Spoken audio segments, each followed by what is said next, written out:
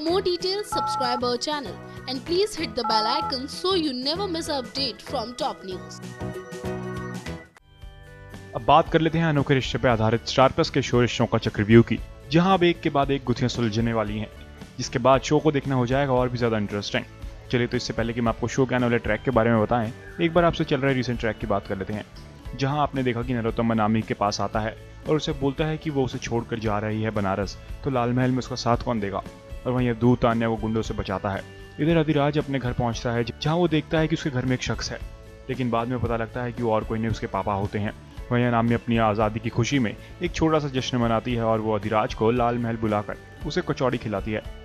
इसके बाद अगले दिन सभी कोर्ट जाते हैं, जहाँ डीएनए टेस्ट का फैसला आने वाला होता है। फैसले में जज बताता है कि अनामी और बलदेव का डीएनए टेस्ट सेम है।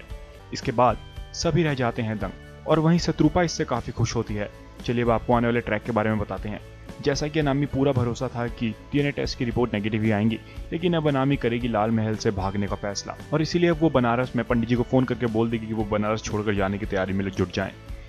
फ़िलहाल के लिए हमारी स्टोरी में बस इतना ही। For more Bollywood and tele gossips please subscribe to our channel top news just for you top news से रवि की report